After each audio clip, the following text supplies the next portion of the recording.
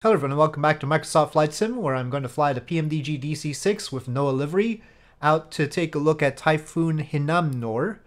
I don't know exactly how to pronounce that but it looks like Hinnamnor. It is looking like the strongest cyclone this season and we are taking off from Shimojishima and potentially landing at Taipei. We'll see how that goes.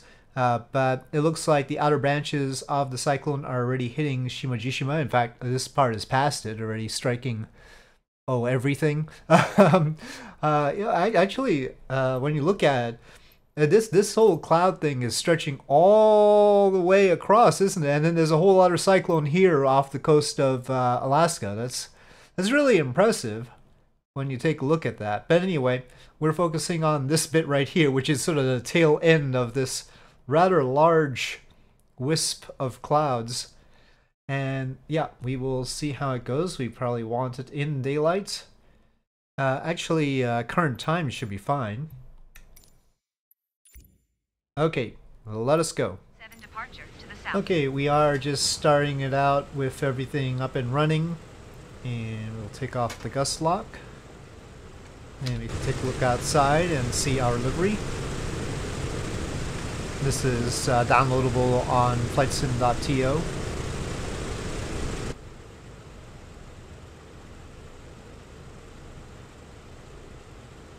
Just check to make sure everything is okay. Our flap should be on takeoff. I don't know why it starts out all open instead of where it has marked for takeoff. It does do that. Oh, a little bonanza just flew by. Alright. Well, here we go.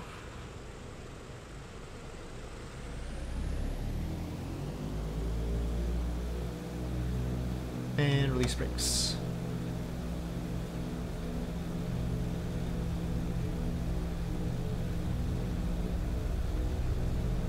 Uh, okay, Bonanza, where are you going? How is that thing backing up like that? I, I didn't realize Beechcraft Bonanzas had a reverse. Now, it doesn't seem like it's very windy, but I'm, I'm sort of tilting to one side here. Why is that? Um, come on. Okay, well, I think there is some wind effect going on here. It's not that strong, but it's present. Well, this VFR map doesn't really have our uh, wind situation here. And that's sort of important for this. Let me see, there's the other map. That is also a mod. This says 25 knots. Uh, just keep that up there just so you know what kind of wind we're facing.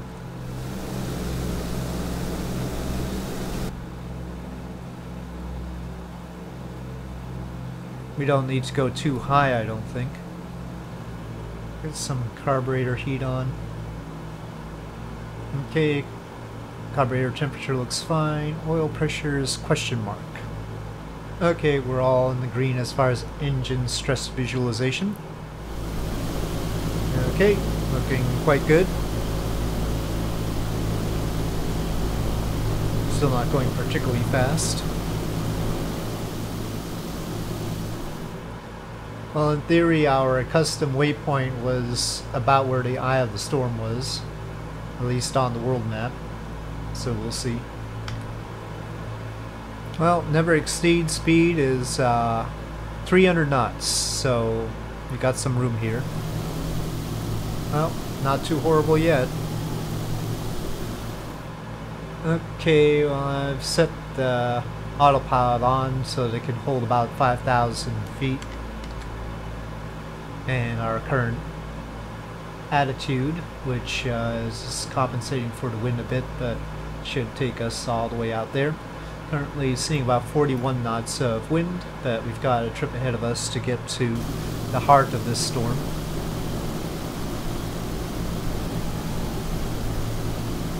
Speed is about 240 knots ground speed. I'm not sure what altitude hunt, uh, hurricane hunting planes normally fly at. I'm guessing 5,000 isn't too bad, but maybe we need to go lower. Once we get closer to the eye, we will. Well, the cloud layers are getting a bit thicker around here. Wind's still about 43 knots.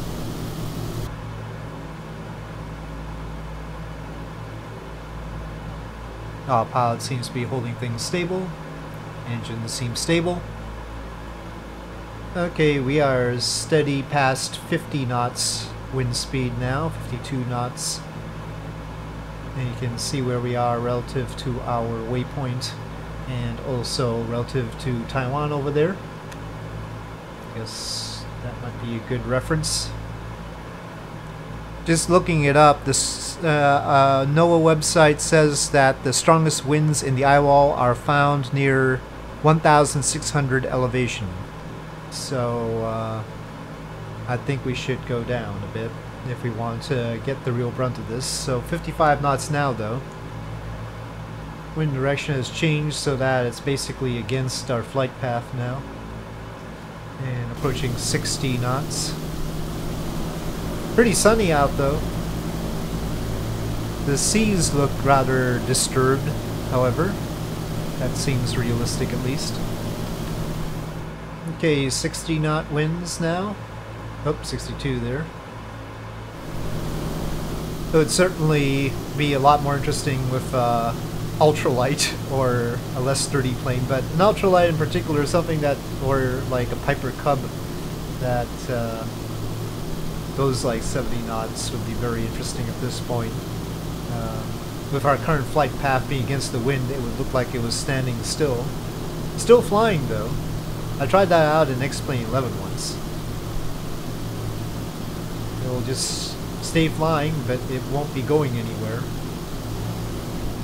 Not a whole lot of clouds around here still, though. I feel like the cloud rendering is not really keeping up with what's going on, but we do have sort of a cloud wall in front of us there. We'll have the hold 2200. Seems good to me. 1,600 is a little bit uncertain. Like I said. I think we're close enough and probably well below 2,200 actually.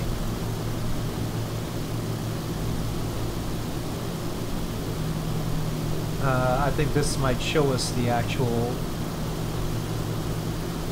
altitude. Yeah. So indicated is 2,200 our actual altitude is 1,300. That's how different the barometric pressure is. Um, I, I guess I'll adjust that. Well, that's pretty close right there. So about 29 inches. I mean, it says actually over there 28.97 and 981. Oh, actually, I think they have those backwards. I think the 28.96 is uh, inches HG and the 981 is hectopascals. Anyway, we have those numbers there. Um, I think we should go a little bit higher. Sorry, autopilot. Disengage again. Tumultuous seas. this was a real NOAA plane, we definitely have a weather ra weather radar. Oh, it's uh, it's not really holding altitude at all. Our altitude is definitely going down here.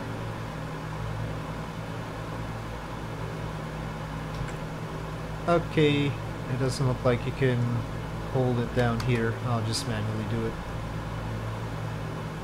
our ground speed is much slower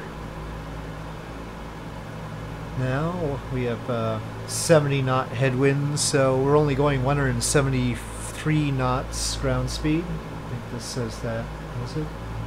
Uh, nope, it only has airspeed there. But we can figure that out. 74 knots now. 75. Things are picking up a bit.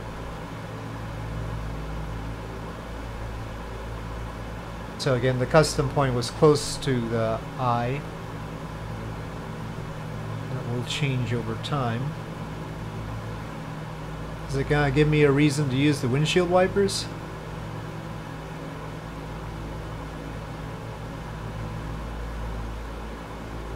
Oh, some turbulence there.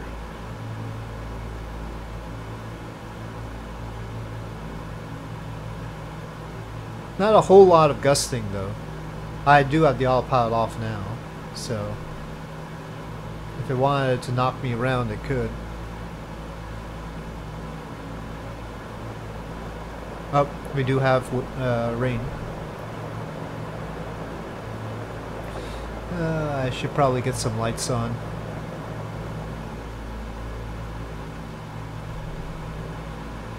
Well, pretty dark clouds out there now.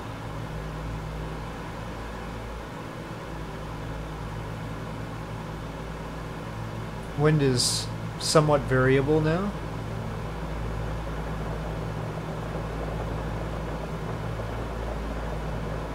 Not too much faster than it was before though. Uh, in fact, a little bit slower. We did hit 70.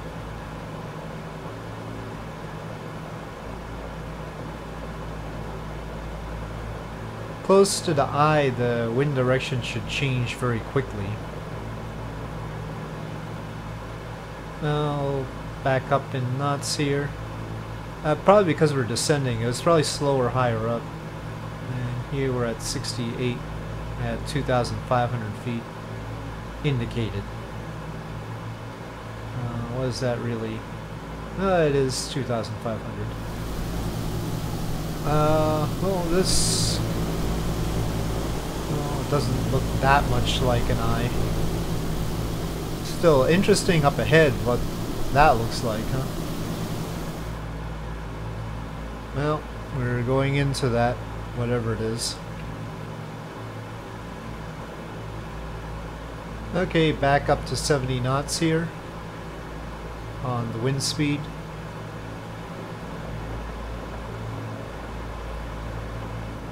Oh, oh, oh, something just happened. Uh, there was just a serious fluctuation in things and we plunged down. Oh, oh, oh, oh, oh, okay. Good thing I adjusted the... Oh, uh, the wind speed just went down to 11. Oh, oh shoot. Oh gosh. And now we're going up really fast. And my, uh, wow, yeah, we, we went up really fast there. Okay, we're in the interesting part of the hurricane now. Now we're talking. Suddenly it's 12 knots only. And yeah, it pushed us down initially and then we got lifted up, but suddenly, suddenly the wind is completely different here.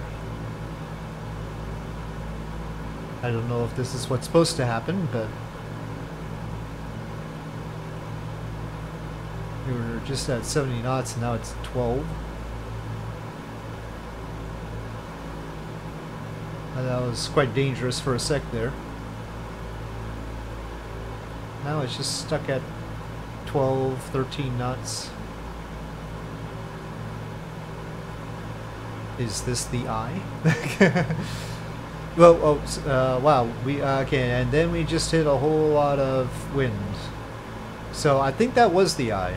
The part where it was only 12, 13 knots, and we just passed right through it. And now it's 66 knots suddenly. And we're at 4,000 feet suddenly. I was like at 2,000 feet, and then suddenly we're at 4,000. We're not getting like 100 knot winds or anything like that, but some dramatic effects there. Let me turn around and see if we get the same deal. Up 74, 75-ish. 75-ish. I don't know, maybe I misplaced the eye. We have gone a little bit further west than we were before. Maybe it's within that sort of wall thing there, I don't know. that way.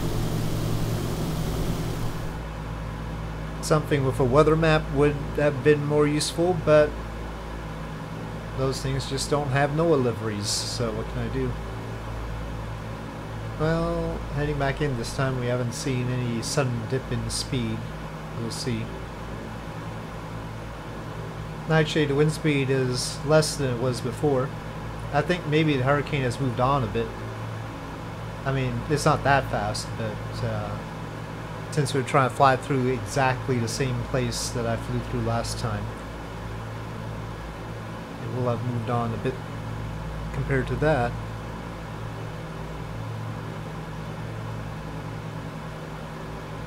I'm not entirely sure how small the eye is.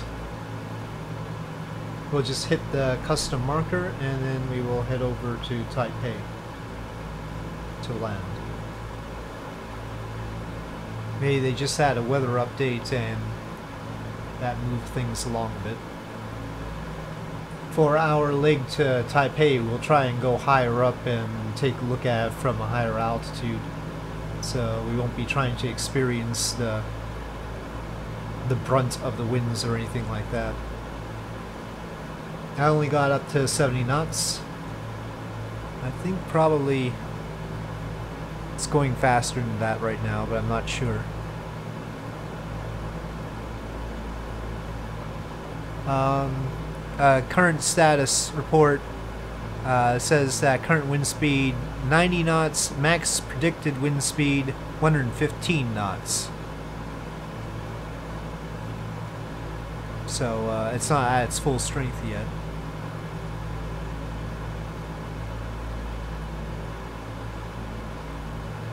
Maybe 70 is not too bad an estimate. I mean, uh, we had gotten past 64 knots, and it says the radius of the 64 knot winds is about 20 nautical miles. Max sustained winds 95 knots, gusts 115. I didn't quite get that, but and right now it's a bit slower, so it's possible we've moved out of the critical area, and that's further north, is what I would, I would be guessing. So if the wind speed increases, we'll continue at the lower altitude, but if it starts decreasing, I'll go up. Okay, yeah, I don't think we're getting higher winds out here, so I'm gonna climb. Well, lots of clouds. We are now at 9,000 feet. Uh, though probably it's a little bit off from that. Yeah, let's readjust. Let me just go back to more normal barometer reading. Oh, nice to get above the weather. If you're not actually trying to investigate the weather. Uh, we were. We're still not quite above the highest of the cloud layers, but we're, we're out of it now. That's what it looks like behind us. Well, right now we're at a little bit less than 17,000 feet and we're about a little less than an hour away from Taipei. Ground speed 289 knots. Okay, we are now approaching the coast of Taiwan. And that is what it looks like. And we will start descending momentarily. Everything's still looking green as far as the engine stress visualizer, nothing particularly spectacular going on otherwise. It has been a two hour or so flight. Okay, well we're gonna fly over Taipei and then come around. And there is Taipei as we get a clearing through the clouds here. We're still pretty high up though. There's, there was uh, Orbx scenery for Taipei. I think it was freeware Orbx scenery. Wondering which buildings count as part of it. But I don't see a whole lot here, but there are a few things here and there. Well, there is an interesting building right there. I don't know what it is, but it's there all right. Well, it's probably too cloudy to get a good sense of the city.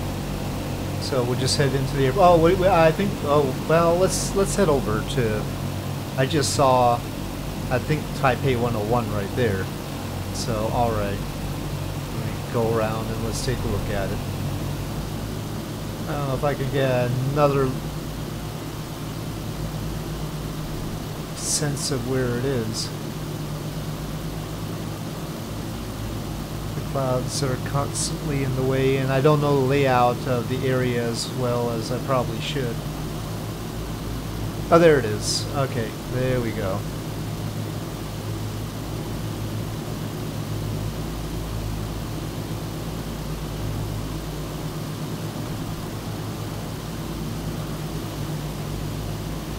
Well, rather shrouded in mists right now.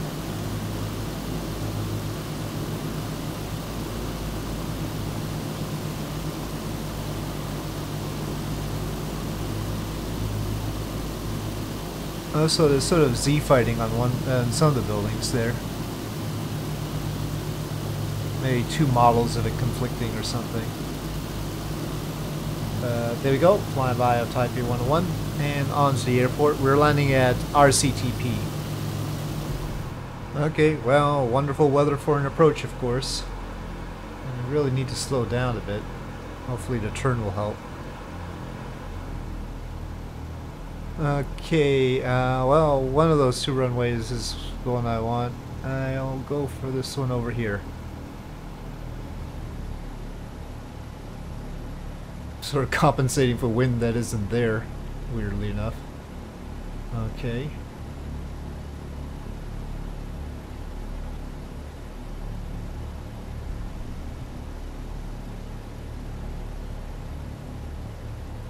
Okay. And we've touched down.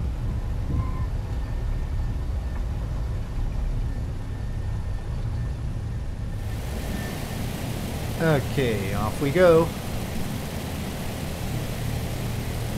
So, that's a wrap for this flight.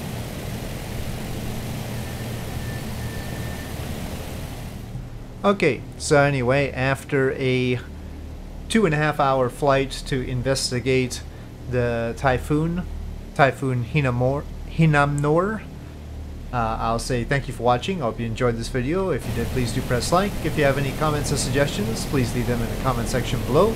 And I'll see you next time.